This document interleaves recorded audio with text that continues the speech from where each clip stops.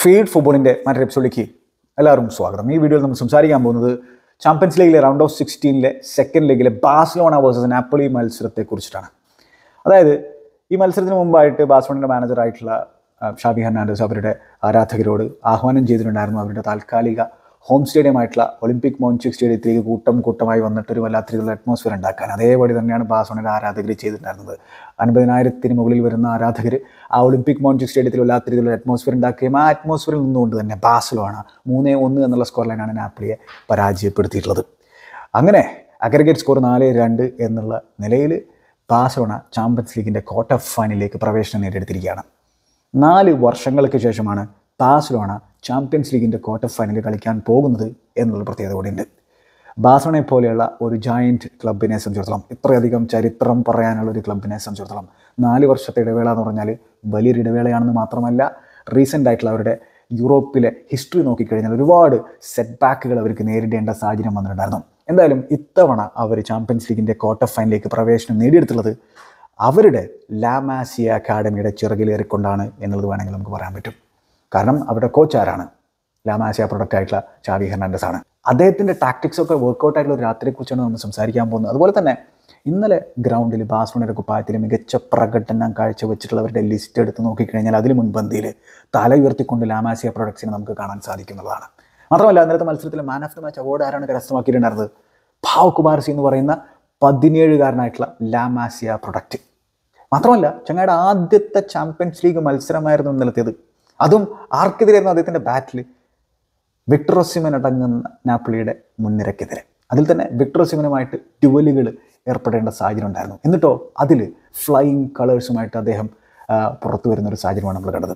അങ്ങനെയാണ് അദ്ദേഹത്തിന് man of the match award കരസ്ഥമാക്കാൻ സാധിക്കുന്നത്. വിക്ടർ ഒസിമൻ ലോകത്തിലെ തന്നെ മികച്ച സ്ട്രൈക്കർമാരിൽ ഒരാളാണെന്നുള്ളത് നമുക്ക് എല്ലാവർക്കും നിസ്സംശയം പറയാൻ പറ്റുന്ന ഒരു സംഭവമാണ്. അതോടൊപ്പം തന്നെ ഇന്നലത്തെ മത്സരത്തിൽ ബാഴ്സലോണയ്ക്ക് വേണ്ടിയിട്ട് ആദ്യത്തെ ഗോൾ അടിക്കുന്നത് ആരാണ്?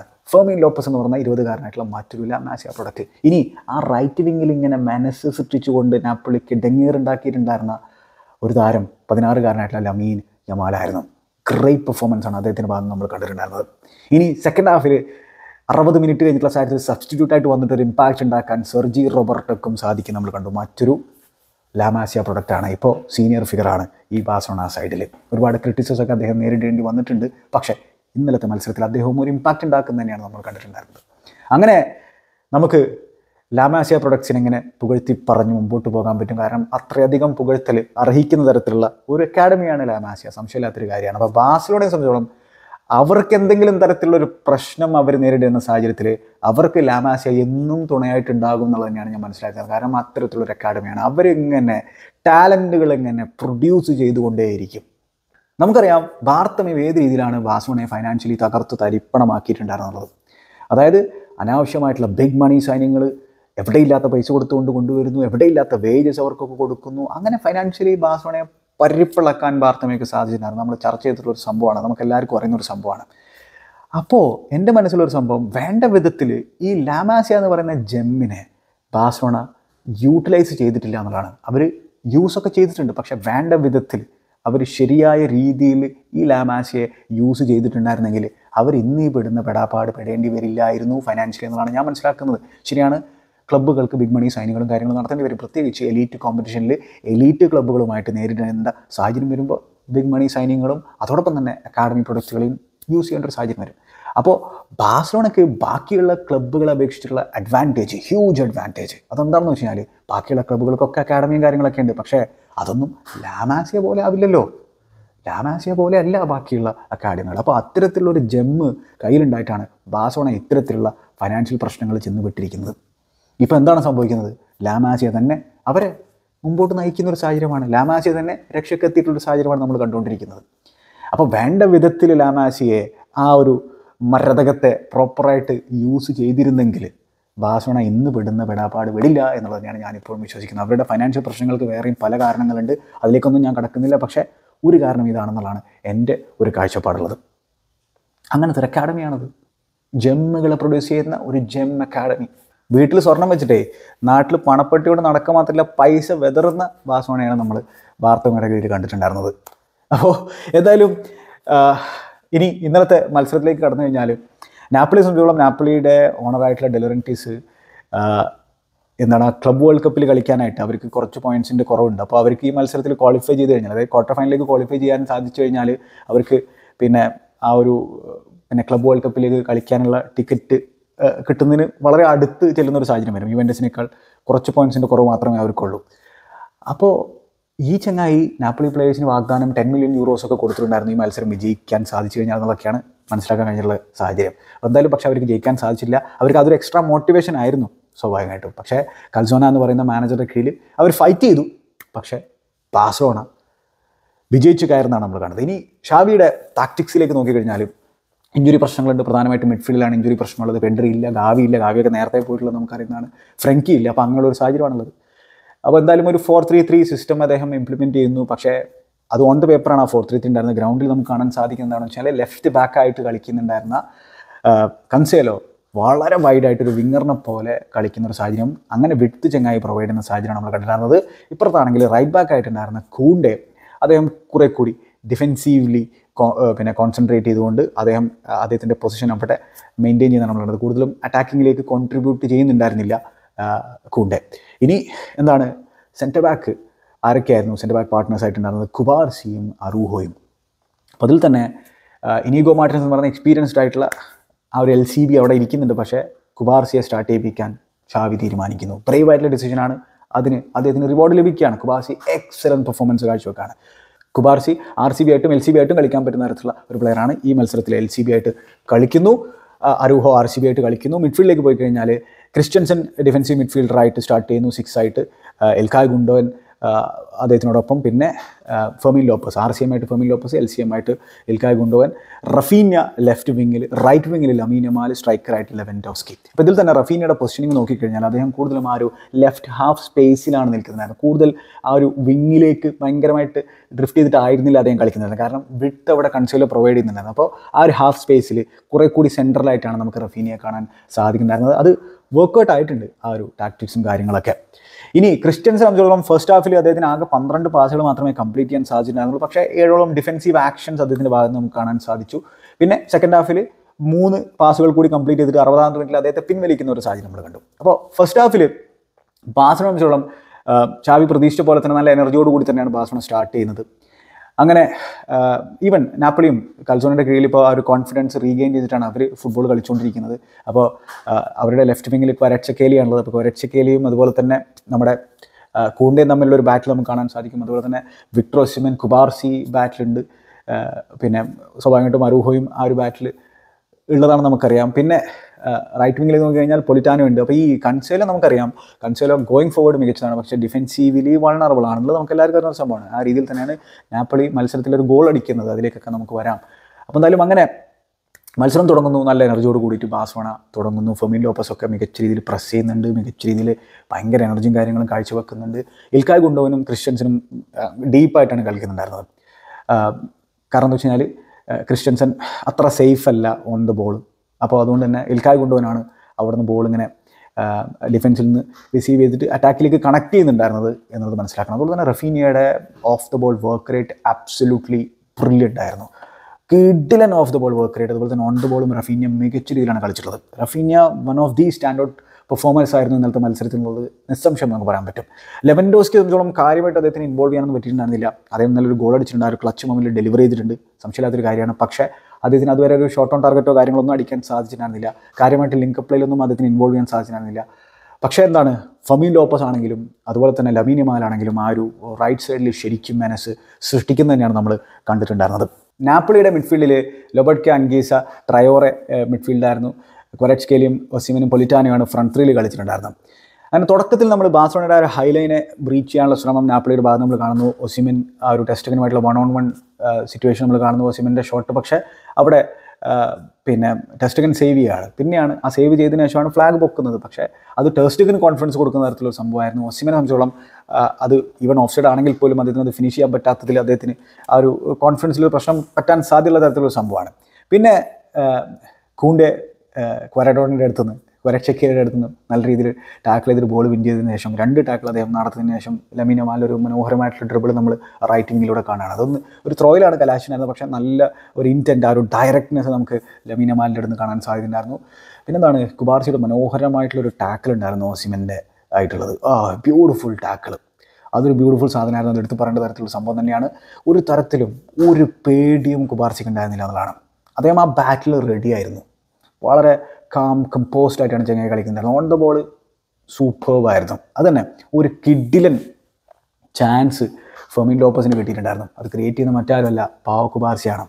അദ്ദേഹം ആ ഒരു ഡിഫൻസിൽ നിന്ന് ഒരു കിഡിലൻ ലോങ് ബോൾ കൊടുക്കണം അതിലേക്ക് നല്ല മനോഹരമായിട്ടുള്ള റണ്ണാണ് ഫെമിൻ ലോപ്പസ് നടത്തിയിട്ടുണ്ടായിരുന്നത്. പക്ഷേ അദ്ദേഹത്തിന് അത് ഗോളാക്കി മാറ്റാൻ സാധിച്ചില്ല. അദ്ദേഹത്തിന്റെ അറ്റംപ്റ്റ് പിന്നെ ബാറിന് മുകളിലൂടെ പോയി. പക്ഷേ അവിടെ കുബാർസിയുടെ ആ ഒരു റേഞ്ച് ഓഫ് പാസിംഗ് ആണ് നമ്മൾ കാണുന്നത്.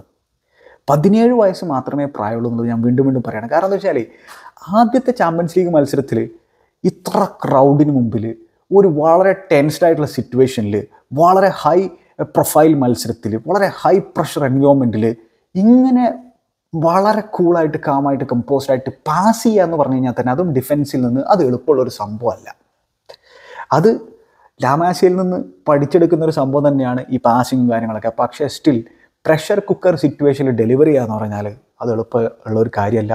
അതും വിക്ടറോസിമിനെ പോലെയുള്ള ആ ഒരു സ്ട്രൈക്കറുമായിട്ടൊക്കെയാണ് താൻ ഡ്യുവലിൽ ഏർപ്പെടേണ്ടി വരേണ്ടത്. അതുപോലെ തന്നെ ആ ഒരു ബാറ്റിൽ ഏർപ്പെടേണ്ടി വരേണ്ടത് എന്നുള്ള ആ ഒരു ബോധ്യത്തിന്റെ പുറത്തു പോലും ചെങ്ങായി എന്നിട്ട് ഇന്നലെ ഗ്രൗണ്ടിൽ കാഴ്ചവെച്ചുള്ള പ്രകടനം ആപ്സുള്ളിൽ ഉണ്ടായിരുന്നു ആകെ ഒന്നോ രണ്ടോ മിസ്റ്റേക്കുകൾ എനിക്ക് ഓർത്തെടുത്ത് പറയാൻ പറ്റുന്നുള്ളൂ. അത് സ്വാഭാവികമായിട്ടും സംഭവിക്കുന്ന ഒരു കാര്യമാണ്. ഒരു യങ് ഫുട്ബോളർ അല്ലേ? അത് ഒന്ന് ഡിലോറൻസയ്ക്ക് കിട്ടിയിട്ടുള്ള ആ ഒരു ഹെഡർ അദ്ദേഹം ഹെഡ് ചെയ്തിട്ടുള്ള സാഹചര്യത്തിൽ അദ്ദേഹത്തിന് ആ ഒരു ഏരിയൽ ഡ്യൂവിൽ നഷ്ടപ്പെടുന്ന ഒരു സാഹചര്യം നമ്മൾ കണ്ടു. പിന്നെ ഒരു ലേറ്റ് ടാക്കിൾ കൂടി അദ്ദേഹം നടത്തിയിട്ടുണ്ടായിരുന്നു വിക്ടോസിമിനുമായിട്ട് ആ ഒരു മിസ്റ്റൈമിന്റെ ടാക്കിൾ അല്ലാത്ത പക്ഷം കാര്യമായിട്ട് എനിക്ക് മിസ്റ്റേക്സ് ചൂണ്ടിക്കാണിക്കാൻ പറ്റുന്നില്ല എന്നുള്ളതാണ്. അതായത് അദ്ദേഹത്തിന്റെ പൊസിഷനിങ് അബ്സുലൂട്ട് ലിബറിൽ ഉണ്ടായിരുന്നു. അദ്ദേഹം നടത്തുന്ന ടാക്കിളുകൾ ഇന്റർസെപ്ഷൻസ് അദ്ദേഹം വളരെ ബ്രേവ് ആയിട്ടാണ് കളിക്കുന്നുണ്ടായിരുന്നത്. ഒട്ടും ഫേസ്ഡ് ആയിട്ടുണ്ടായിരുന്നില്ല ഒട്ടും ഫ്രൈറ്റൻഡ് ആയിട്ടുണ്ടായിരുന്നില്ല ആ ഒരു ഒക്കേഷനിൽ അതാണ് എടുത്തു പറയേണ്ടതായിട്ടുള്ള സംഭവം. അവിടെ തന്നെ അദ്ദേഹത്തിന് റേഞ്ച് ഓഫ് പാസിംഗ് വളരെ ഒരു ഒരു സ്വീപ്പർ എന്ന രീതിയിൽ മനോഹരമായിട്ട് കളിക്കുകയാണ്. പിന്നെ എന്താണ്? ഈ കൺസോല മുമ്പോട്ട് പോകുന്ന സാഹചര്യത്തിൽ അവിടെ ഒരു വൈഡർ ഏരിയ കൂടി ഡിഫെൻഡ് ചെയ്യേണ്ട ഒരു സാഹചര്യം കൂടി ഉണ്ടായിരുന്നു. അതും നല്ല രീതിയിൽ ഡിഫെൻഡ് ചെയ്യുന്ന ഒരു സാഹചര്യമാണ് നമ്മൾ കാണുന്നത്. ബ്യൂട്ടിഫുൾ ബ്യൂട്ടിഫുൾ പെർഫോമൻസ് ആണ് ഈ പതിനേഴുകാരന്റെ അടുത്ത് നമ്മൾ കണ്ടിട്ടുള്ളത്.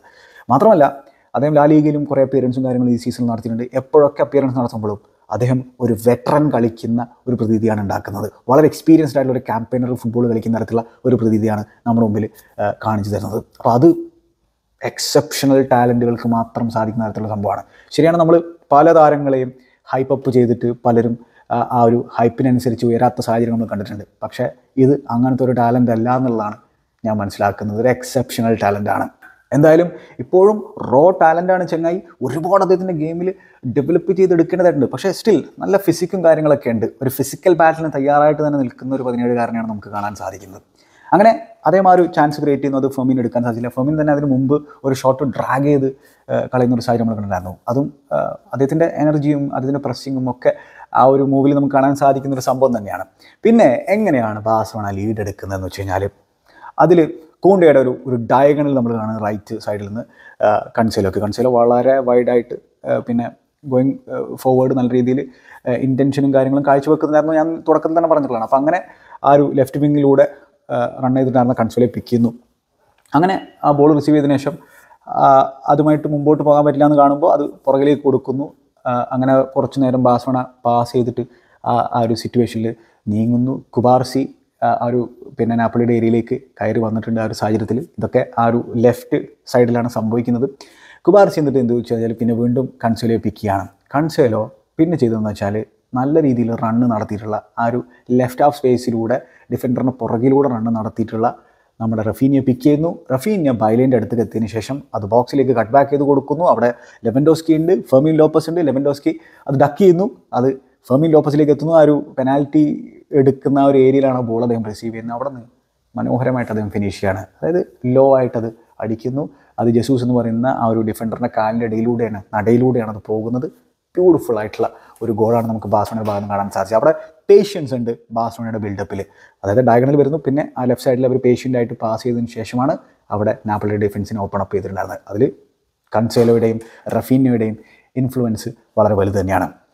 അങ്ങനെ ബാസോണ ആ അത് സ്വാഭാവികമായിട്ടും വലിയൊരു പ്രഷർ റിലീവറാണ് ചാവിയുടെ സെലിബ്രേഷൻ കണ്ടു കഴിഞ്ഞാൽ നമുക്ക് മനസ്സിലാക്കാൻ സാധിക്കും. ബാസോണ ആരാധകരും അല്ലാത്ത രീതിയിൽ അത് സെലിബ്രേറ്റ് ചെയ്തിട്ടുണ്ട്. കാരണം തുടക്കത്തിൽ തന്നെ ആ ഒരു പ്രഷർ പിന്നെ റിലീസ് ചെയ്യുന്ന തരത്തിലുള്ള ഒരു- ഗോൾ അവർക്ക് അടിക്കാൻ സാധിക്കണം അവിടെ നിന്ന് രണ്ട് മിനിറ്റ് കഴിഞ്ഞപ്പോൾ തന്നെ ബാസോണ ലീഡ് ഉയർത്തുകയാണ്. അപ്പോൾ ഇത് എങ്ങനെയാണെന്ന് വെച്ചാൽ പെർഫെക്റ്റ് കൗണ്ടർ അറ്റാക്കിംഗ് മൂവാണ് നമുക്ക് ബാസോണയുടെ ഭാഗത്ത് നിന്ന് കാണാൻ സാധിച്ചത്. അതായത് ലമീൻ അമാൽ ഹെവിലി ഇൻവോൾവ് ആണ് അതിൽ അപ്പോൾ ഇതിലെന്താ സംബന്ധിച്ചാൽ ക്വരച്ചക്കേലിയ ആ ഒരു ലെഫ്റ്റ് വിങ്ങിൽ നിന്ന് ബോക്സിലേക്ക് മൂവ് ചെയ്യാനുള്ള ശ്രമം നടത്തുകയാണ്. അവിടെ ക്രിസ്ത്യൻസിൻ ഉണ്ട് അദ്ദേഹത്തിന്റെ അടുത്ത്. അങ്ങനെ ക്രിസ്ത്യൻസിൻ തുടക്കത്തിൽ അദ്ദേഹം സ്റ്റോപ്പ് ചെയ്യുന്നു. പക്ഷേ അദ്ദേഹം ബാക്ക് ഹീലിലൂടെ പിന്നെ മരിയോ റൂയിയെ റിലീസ് ചെയ്യാണ് അപ്പോൾ ഈ മരിയോ റൂയിയെ സംബന്ധിച്ചിടത്തോളം അദ്ദേഹം ബൈലിന്റെയൊക്കെ അടുത്തെത്തിന് ശേഷം അത് ബോക്സിലേക്ക് ക്രോസ് ചെയ്യാൻ ശ്രമിക്കുകയാണ്. അത് അരൂഹോ ഡിഫെൻഡ് ചെയ്യുന്നു. അരൂഹോ ഇന്റർസെപ്റ്റ് ചെയ്യുന്നു. അരൂഹോ ഇന്റർസെപ്റ്റ് ചെയ്തിട്ടുള്ള സാധനം ആ ഒരു ബോക്സിന്റെ ലെഫ്റ്റ് സൈഡിൽ എഡ്ജ് ഓഫ് ദ ബോക്സിൽ നിൽക്കുന്ന ലമീൻ യമാലിലേക്കാണ് എത്തുന്നത്. അപ്പോൾ ലമീൻ യമാലിന്റെ അടുത്തുനിന്ന് ബോൾ വിൻ ചെയ്യാനുള്ള ശ്രമമാണ് അവിടെ ലൊബോട്ട്ക്ക നടത്തുന്നത്. പക്ഷേ അത് കുറച്ച് ഹൈ ആണ് ആ ബോൾ അപ്പോൾ എന്ത് സംബന്ധിച്ചാൽ അവിടെ ലമീൻ യമാൽ അത് വിൻ ചെയ്യുന്നു. അതിന് ശേഷം പിന്നെ ലമീൻ യമാൽ എന്ത് ചെയ്യുന്നു വെച്ചാൽ അതുമായിട്ട് അങ്ങോട്ട് റൺ ചെയ്യാണ് ഡ്രിബിൾ ചെയ്ത് പോവുകയാണ്. ഒടുക്കത്തെ പേസുമായിട്ട് അങ്ങനെ ആ ഒരു റൈറ്റ് വിങ്ങിലൂടെ ചങ്ങായി പോകുന്നു. സെൻട്രൽ ഏരിയയിലേക്ക് ഡ്രിഫ്റ്റ് ചെയ്ത് ഇങ്ങനെ വരുന്നു. എന്നതിന് ശേഷം പിന്നെ റഫീനിയ ലെഫ്റ്റ് വിങ്ങിലൂടെ അപ്പോഴേക്കും മൂവ് നടത്തിയിട്ട് റഫീനിയ പിക്ക് ചെയ്യുന്നു. റഫീനിയ ബോക്സിലേക്ക് എത്തിയതിനു ശേഷം അദ്ദേഹം തന്റെ ലെഫ്റ്റ് നിന്ന് റൈറ്റിലേക്ക് കട്ടിങ് സൈഡ് ചെയ്തിട്ട് ഒരു മനോഹരമായിട്ടുള്ള ഷോട്ട് അടിക്കുകയാണ്. പക്ഷേ അൺലക്കിയാണ് അവിടെ റഫീനിയ. അത് പോസ്റ്റിൽ തട്ടിയിട്ട് തിരിച്ചു വരാണ്. റീബോണ്ട് അടിക്കാൻ റഫീനിയയുടെ സൈഡിൽ എപ്പോഴേക്കും കൺസേലോ ഓടി എത്തിയിട്ടുണ്ട്. കൺസേലോ മനോഹരമായിട്ട് അത് ഫിനിഷ് ചെയ്യുന്നു ആ റീബൗണ്ട് അങ്ങനെ റഫീനോട് അൺലക്കിയാണ് അദ്ദേഹം നിലത്ത് ഇരുന്ന് പോയി തലയിൽ കൈവച്ചിട്ട് പക്ഷെ അത് ഗോളായി ബാഴ്സലോണ വളരെ ഇമ്പോർട്ടന്റ് ആയിട്ടുള്ള രണ്ടാമത്തെ ഗോൾ അവർക്ക് അടിക്കാൻ സാധിച്ചിരിക്കുകയാണ്. അങ്ങനെ ബാസോണ ലീഡ് ഉയർത്തുന്നു. ഡ്രീം സ്റ്റാർട്ടാണ് ബാസോണയ്ക്ക് ലഭിക്കുന്നത്. ഡ്രീം സ്റ്റാർട്ട് പിന്നെന്താണ്?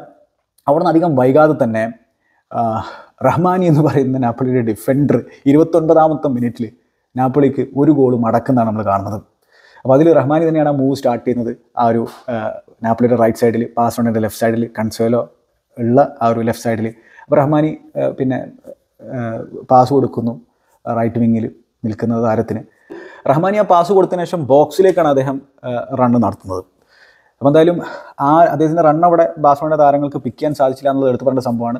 അങ്ങനെ അത് റൈറ്റ് സൈഡിൽ ഈ പിന്നെ കൺസേലേക്ക് പുറകിലൂടെ നല്ലൊരു റൺ അവിടെ പൊലിറ്റാനോക്ക് നടത്താൻ സാധിക്കുന്നു അതായത് പിക്ക് ചെയ്യാൻ സാധിക്കുന്നു. അവിടെ ബെറ്റർ ആയിട്ട് കൺസോൾ ഡിഫെൻഡ് ചെയ്യണമായിരുന്നു വേറെ കാര്യം. പൊലിറ്റാനോ എന്ത് ചെയ്തെന്ന് വെച്ചാൽ അബാലിന്റെ അടുത്ത് എത്തിയതിന് ശേഷം കട്ട്ബാക്ക് കൊടുക്കുന്നു. റഹ്മാൻ എപ്പോഴേക്കും ബോക്സിലേക്ക് എത്തിയിട്ടുണ്ട്. ഗുണ്ടോക്ക് അദ്ദേഹത്തിന് ട്രാക്ക് ചെയ്യാൻ പറ്റില്ല ക്രിസ്ത്യൻസിന് അദ്ദേഹത്തിന് ട്രാക്ക് ചെയ്യുന്നില്ല. ആരും അദ്ദേഹത്തിന് ട്രാക്ക് ചെയ്യുന്നില്ല. ഒരു സ്ട്രൈക്കറിനെ പോലെ മനോഹരമായിട്ട് റഹ്മാൻ ഇവിടെ ഫിനിഷ് ചെയ്യണം. അങ്ങനെ നാപ്പോളി മത്സരത്തിലേക്ക് തിരിച്ചു വരികയാണ്. ഇരുപത്തൊൻപത് മിനിറ്റ് കഴിയുമ്പോൾ രണ്ട് ഒന്ന് എന്ന രീതിയിലാണ് സ്കോർ ഉണ്ടായിരുന്നത്. അങ്ങനെ മത്സരം പുരോഗമിക്കുന്നു. ഒരു കിഡിലൻ ഓപ്പർച്യൂണിറ്റി ഡിലോറൻസൊക്കെ കിട്ടുന്ന സാഹചര്യമാണ് നമ്മൾ കാണുന്നത്. ഇതാണ് ഞാൻ തുടക്കത്തിൽ പറഞ്ഞ കുബാർസിയുടെ ഒരു മിസ്റ്റേക്ക് മരിയോ റോയി ആ ഒരു ലെഫ്റ്റ് ഹാഫ് സ്പേസിൽ നിന്ന് ഒരു ക്രോസ് ബോക്സിലേക്ക് കൊടുക്കുന്നു. ഡിലോറൻസോ നാപ്പിയുടെ ക്യാപ്റ്റനാണ് അവരുടെ റൈറ്റ് ബാക്കാണ് ചങ്ങായിയുടെ ഹെഡർ അവിടെ കുബാർസി ആ ഒരു ഏരിയയിൽ ഡിവലി നഷ്ടപ്പെടുന്നത് മാത്രമല്ല അതിന്റെ പൊസിഷനിങ് അത്ര ശരിയല്ല. അങ്ങനെ ആ ഡിലോറൻസിയുടെ ഹെഡർ അവിടെ മനോഹരമായിട്ട് ടെസ്റ്റകൻ സേവ് ചെയ്യാണ്. അത് വളരെ ഇമ്പോർട്ടന്റ് ആയിട്ടുള്ള ടൈമിലാണ് ആ ഒരു സേവ് ടെസ്റ്റകൻ പ്രൊഡ്യൂസ് ചെയ്തിട്ടുള്ളത്. വളരെ വളരെ ഇമ്പോർട്ടന്റ് ആയിട്ടുള്ള ടൈമിൽ അപ്പോൾ ഇങ്ങനെ കഴിഞ്ഞ സീസണിൽ അങ്ങനെ ഇത്തരത്തിലുള്ള പല മൊമെന്റുകളിലും ബാസ്മണി രക്ഷിക്കുന്ന നമ്മൾ കണ്ടതാണ് അപ്പോൾ ആ ഒരു അവസരത്തിൽ അത് ഗോളായിരുന്നെങ്കിൽ രണ്ടേ രണ്ടായി പോയേനെ. അത് മത്സരത്തിന്റെ ഗതിയെ തന്നെ മാറ്റുന്ന തരത്തിലുള്ള ഒരു ഗോളായി പോയേനെ. പക്ഷെ അവിടെ ടെസ്റ്റകൻ ബ്രില്യന്റ് ആയിട്ടുള്ള സേവ് പ്രൊഡ്യൂസ് ചെയ്യുന്നു. അങ്ങനെ പിന്നെ നമ്മൾ ബാസ്വണ ആ ഒരു കൺട്രോൾ തുടക്കത്തിലുണ്ടായിരുന്ന എനർജിയും കൺട്രോളും ഒക്കെ നഷ്ടപ്പെടുന്നതാണ് നമ്മൾ കണ്ടിട്ടുണ്ടായിരുന്നത്. മെല്ലെ മെല്ലെ നാപ്പിൾ തന്നെയാണ് ആ ഒരു ഫസ്റ്റ് ഹാഫ് സ്ട്രോങ്ങർ ആയിട്ട് ഫിനിഷ് ചെയ്തിട്ടുണ്ടായിരുന്നു നമുക്ക് വേണമെങ്കിൽ പറയാം. പക്ഷേ സ്റ്റാറ്റ്സ് നോക്കി കഴിഞ്ഞാൽ പന്ത്രണ്ട് ഷോട്ടുകൾ ബാസ്വണ അടിക്കുന്നു. രണ്ടെണ്ണം മാത്രമേ ബാസ്വണക്ക് ടാർഗറ്റിലേക്ക് അടിക്കാൻ സാധിച്ചിട്ടുണ്ടായിരുന്നുള്ളൂ. ആറ് അറ്റംപ്റ്റുകൾ മാത്രമേ നാപ്പിളി നടത്തിയിട്ടുണ്ടായിരുന്നുള്ളൂ. പക്ഷേ അതിൽ നാലെണ്ണം അവർക്ക് ടാർഗറ്റിലേക്ക് അടിക്കാൻ സാധിച്ചു. അൻപത്തഞ്ച് ശതമാനം പൊസിഷൻ നാപ്പിളിയുടെ അടുത്തായിരുന്നു ഉണ്ടായിരുന്നത്. അങ്ങനെ സെക്കൻഡ് ഹാഫ് തുടങ്ങുന്നു. സെക്കൻഡ് ഹാഫിലും നാപ്പളി പിന്നെ എന്താ പറയുക ആ ഒരു ഈക്വലൈസിന് വേണ്ടിയുള്ള ശ്രമങ്ങൾ നടത്തുന്നു. കൊരച്ചക്കിലയുടെ ഷോട്ട് ജസ്റ്റ് വൈഡായിട്ട് പോകുന്ന ഒരു സാഹചര്യം ഉണ്ടായിരുന്നു. പിന്നെ നമ്മൾ കാണുന്നത് ബാസ്മണിയുടെ ഒരു ബ്യൂട്ടിഫുൾ മൂവാണ് റഫീനിയുടെ ഷോട്ടിലാണ് അത് കലാശനായത് പക്ഷേ ഒരു ബ്യൂട്ടിഫുൾ മൂവാണ് ബാക്ക് ടു ഫ്രണ്ട് അവർ വളരെ ഫ്ലൂയിഡായിട്ട് മൂവ് ചെയ്തിട്ടുള്ള ഒരു അവസരം. അതായത് ടേസ്റ്റകൻ പിന്നെ ത്രോ ചെയ്ത് കൊടുക്കുന്നു ലമീൻ യമാലിലേക്ക്. ലമീൻ യമാൽ വൺ ടച്ചിൽ ഫെമിൻ ലോപ്പസിനെ റിലീസ് ചെയ്യുന്നു. വീണ്ടും ലമീൻ യമാലിന് കൊടുക്കുന്നു. ലമീൻ യമാൽ അത് ഫെമിൻ ലോപ്പസിന് തന്നെ കൊടുക്കുകയാണ്. അപ്പോൾ ആ ഒരു സാഹചര്യത്തിൽ ഗുണ്ടോ ആ ഒരു സെൻട്രൽ സർക്കിളിന്റെ ആ ഒരു സൈഡിൽ ബാസ്മണ ഏരിയയിൽ നിൽക്കുന്നുണ്ട്. അവിടേക്ക് ഗുണ്ടോക്ക് പാസ് കൊടുക്കുകയാണ് ഫെമിൻ ലോപ്പസ്. അങ്ങനെ ഗുണ്ടോ അത് വൺ ടച്ചിൽ തന്നെ ഫെമിൻ ലോപ്പസിന് തിരിച്ചു കൊടുക്കുന്നു? ഫെമിൻ ലോപ്പസ് തന്റെ ലെഫ്റ്റ് വിങ്ങിലൂടെ റൺ ചെയ്യുന്ന കൺസിലെ പിക്കാണ് കൺസിലെ എന്ത് ചെയ്തെന്ന് വെച്ചാൽ ആ ലെഫ്റ്റ് ഹാഫ് സ്പേസിൽ നിൽക്കുന്ന റഫീനക്ക് പാസ് കൊടുക്കുന്നു. റഫീൻ അത് തിരിച്ച് പിന്നെ പിന്നെ ആ ഒരു ബോക്സിന്റെ ലെഫ്റ്റ് സൈഡിലേക്ക് റൺ ചെയ്തിട്ടുണ്ടായിരുന്ന കൺസേലയെ പിക്കാണ് കൺസോലെ വീണ്ടും അത് കട്ട് ബാക്ക് ചെയ്തിട്ട് റഫീനെ കൊടുക്കുന്നു. റഫീനയുടെ ഷോട്ട് പക്ഷേ അത് നേരെ കീപ്പറിന്റെ കയ്യിലേക്കാണ് പെടുന്നത് അത് ഗോളായിരുന്നെങ്കിൽ ഒരു ബ്യൂട്ടിഫുൾ ബ്യൂട്ടിഫുൾ ഗോളായി മാറിയാണ് ഗ്രേറ്റ് മൂവാണ് അവിടെ ബാസണ നടത്തിയിട്ടുണ്ടായിരുന്നത്. അപ്പോൾ അതൊരു ബ്രില്യൻ മൂവായിരുന്നു പിന്നെ നമ്മൾ എന്താണ് കാണുന്നത് വെച്ചാൽ റഫീനയുടെ ഒരു ഫ്രീ കിക്ക് സേവ് ചെയ്യുന്നു. മീരറ്റ് എന്ന് പറയുന്ന കീപ്പർ അതുപോലെ തന്നെ കോർണർ എന്നുള്ള ഒരു ഹെഡർ ബാസ്മണയുടെ ഹെഡർ മീരറ്റ് സേവ് ചെയ്യുന്നു. അതിൽ നിന്ന് പിന്നെ ലമീനമാൽ ഗോളൊക്കെ അടിച്ചിട്ടുണ്ടായിരുന്നു പക്ഷേ അവിടെ ലമീനമാൽ ഓഫ് സൈഡ് ആയിരുന്നു അങ്ങനെ ആ ഒരു സിറ്റുവേഷൻ അങ്ങനെ അറുപത് മിനിറ്റ് കഴിയുമ്പോൾ ഷാവി ചേഞ്ച് വരുത്താൻ തീരുമാനിക്കുകയാണ്. കാരണം ക്രിസ്ത്യൻസിനൊന്നും ഒരു ഇമ്പാക്റ്റ് പിന്നെ സെക്കൻഡ് ഹാഫിൽ ഉണ്ടാക്കുന്നുണ്ടായിരുന്നില്ല. അപ്പോൾ അദ്ദേഹത്തെ പിൻവലിക്കുന്നു. അതുപോലെ തന്നെ എന്തെന്ന് വെച്ചാൽ ഫെമി ലോപ്പസിനെ പിൻവലിക്കുകയാണ്. അങ്ങനെ റോമിയോയും അതുപോലെ തന്നെ സൊജി റോബർട്ടിയും കൊണ്ടുവരാണ് ഈ രണ്ട് പേരെയും കൊണ്ടുവരുന്ന സാധ്യത സ്വാഭാവികമായിട്ടും ബാഴ്സലോണയുടെ ആരാധകർ ഒന്ന് പേടിച്ചിട്ടുണ്ടാകും. കാരണം ഇത് വേണോ എന്നുള്ളത്. ചാവി എടുക്കുന്ന തീരുമാനം ശരിയാണോ എന്നുള്ളത്.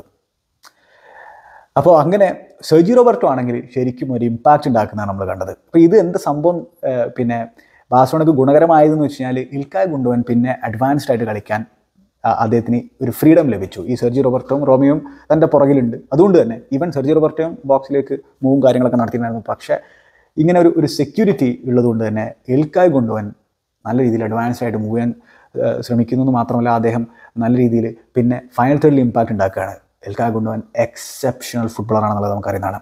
അപ്പോൾ അതിന്റെ ചോയ്സ് ഓഫ് പാസിങ് അത് ലിവർപൂളിൽ നമ്മൾ മക്കാലിസ്റ്ററിന്റെ കാര്യം പറയുന്ന പോലെയാണ്. ഈ ചെങ്ങയുടെ ചോയ്സ് ഓഫ് പാസിങ് ആ ഒരു രക്ഷയില്ല. മാത്രമല്ല ബാസ്മാന്റെ മൂന്നാമത്തെ ഗോളിൽ അദ്ദേഹത്തിന്റെ പ്രീ അസിസ്റ്റ് ആബ്സോൾട്ട്ലി സെൻസേഷനാണ് അതിലേക്കൊക്കെ നമുക്ക് വരാം. അദ്ദേഹം നാല് കീ പാസുകൾ നടത്തുന്ന നമ്മൾ കണ്ടു. ഒരു ഷോർട്ട് ഓൺ ടാർഗറ്റ് അടിക്കുന്നതൊക്കെ നമ്മൾ കണ്ടു. ഇതൊക്കെ ആ ഒരു സെക്കൻഡ് ഹാഫിൽ പിന്നീട് ഈ ചേഞ്ച് വരുത്തിയതിനു ശേഷമാണ് നടന്നിട്ടുണ്ടായിരുന്നത്. അങ്ങനെ ലമീനമാർ നല്ല രീതിയിൽ റൈറ്റ് സൈഡിൽ ഇന്റർസെപ്ഷനും കാര്യങ്ങളൊക്കെ നടത്തിയിട്ടുള്ള പാസ് ബാസ്മോണിയുടെ അറ്റംപ്റ്റ് ഉണ്ടായിരുന്നു. ഗോളിലൊന്നും കലാശില്ല പക്ഷേ ലമീനമാലൊക്കെ തന്റെ എനർജിയും കാര്യങ്ങളൊക്കെ ആ പ്രസ്സിങ് കാര്യങ്ങളൊക്കെ കാഴ്ചവെക്കുന്നുണ്ടായിരുന്നു. ഇൽക്കായ് ഒരു ഷോട്ട് നേരിട്ട് സേവ് ചെയ്യുന്നു. റഫീനിയുടെ ഷോട്ട് വീണ്ടും സേവ് ചെയ്യുന്നു.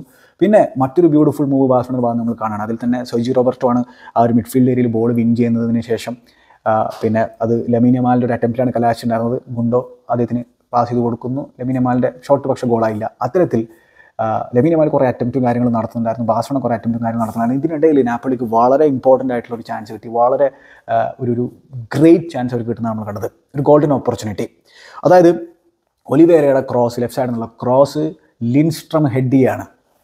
ഫ്രീ ഹെഡറാണ് ഫ്രീ ഹെഡർ അത് ചെങ്ങായി എന്ത് വെച്ചാൽ പുറത്തേക്കാണ് ഹെഡ് ചെയ്ത് കളഞ്ഞത്. അപ്പോൾ അത് ബാസണംസോളം അവർക്ക് ഈ നേവി ഡിഫെൻസീവ് മൊമെൻസ് ഈ മത്സരത്തിൽ കാണാൻ സാധിക്കുന്നുണ്ടായിരുന്നു. കാരണം നമുക്കറിയുന്നതാണ്. അവർക്ക് ത്രൂ ഔട്ട് അവർ തുടക്കത്തിൽ കാണിച്ചിട്ടുള്ള തരത്തിലുള്ള ആ ഒരു എനർജിയും കാര്യങ്ങളും സസ്റ്റെയിൻ ചെയ്യാൻ പറ്റാത്ത തരത്തിലുള്ള ഒരു സൈഡാണ് നമുക്കറിയുന്നതാണ്. മാത്രമല്ല ലാപ്സിൻ കോൺസെൻട്രേഷൻ ഒക്കെ ഡിഫെൻസീവ്ലി വരുത്തുന്ന തരത്തിലുള്ള ഒരു സൈഡാണ് അപ്പോൾ അങ്ങനെ അതൊരു ഗോൾഡൻ ഓപ്പർച്യൂണിറ്റി നാപ്പിലെ വെച്ചോളം അത് അവർക്ക് മുതലാക്കാൻ സാധിച്ചിട്ടുണ്ടായിരുന്നില്ല. പിന്നെ നമ്മളെന്താണ് കാണുന്നത് വെച്ചാൽ ബാഴ്സലോണയുടെ മൂന്നാമത്തെ ഗോളാണ് ആ ഗോൾ മത്സരം കിൽ ഓഫ് ചെയ്യുന്ന തരത്തിലൊരു ഗോളാണ് നാപ്പിൾ ഈക്വലൈസർ വേണ്ടി ശ്രമിക്കുന്ന സമയത്താണ് ആ ഗോൾ വരുന്നത്. അപ്പോൾ അത് ബാഴ്സലോണയുടെ ഒരു ത്രോയിൻ അവർക്ക് ലെഫ്റ്റ് സൈഡിൽ ലഭിക്കുന്നു. സെജി റോബർട്ടോയിലേക്ക് ആ ത്രോയിന് എത്തുന്നു. സെജി റോബർട്ടോ പിന്നെ ആ ബോൾ റിസീവ് ചെയ്തതിനു ശേഷം ലെഫ്റ്റിൽ നിന്ന് കട്ട് ഇൻസൈഡ് ചെയ്തിട്ട് എഡ്ജ് ഓഫ് ദ ബോക്സിൽ നിൽക്കുന്ന ഇൽക്കായ ഗുണ്ടോന് കൊടുക്കുകയാണ്. ഗുണ്ടോന് കൊടുത്തിട്ട് അദ്ദേഹം കൃത്യമായിട്ട് ബോക്സിലേക്ക് മൂവ്മെന്റ് നടത്തിയിട്ടുണ്ട്. ഇൽക്കായ ഗുണ്ടോവിന്റെ ക്ലാസ്സാണ് നമുക്ക് അവിടെ കാണാൻ സാധിക്കുന്നത്. ഒരു ചെറിയൊരു പോസ് ഉണ്ട് അദ്ദേഹത്തിന്റെ ഭാഗത്ത് ചെറിയൊരു പോസ് എന്നിട്ട് ആ ഒരു പെർഫെക്റ്റ് ടൈമിൽ ആ ബോൾ റിലീസ് ചെയ്യാണ്. സെജി റോബർട്ടോക്ക് ആ ബോൾ റിലീസ് ചെയ്യാണ്. സെജി റോബർട്ടോ ബോക്സിലേക്ക് റൺ ചെയ്തിട്ടുണ്ടല്ലോ. പെർഫെക്റ്റ് ടൈമിൽ അത് റിലീസ് ചെയ്യുന്നു. സെജി റോബർട്ടോ അവിടെ ശരിക്കും അൺസെൽഫിഷ് ആയിട്ട്. അദ്ദേഹം അത് പിന്നെ ആ സിക്സ് ആഡ് ഏരിയയിലേക്ക് നിൽക്കുന്ന നമ്മുടെ റോബർട്ട് ലെവൻഡോസ്ക്ക് കൊടുക്കാൻ. റോബർട്ട് ലെവൻഡോസ്ക്ക് സംബന്ധിച്ചോളം ടാപ്പിനാണ്. Bread and ബട്ടറാണ് ചെങ്ങായിക്ക്.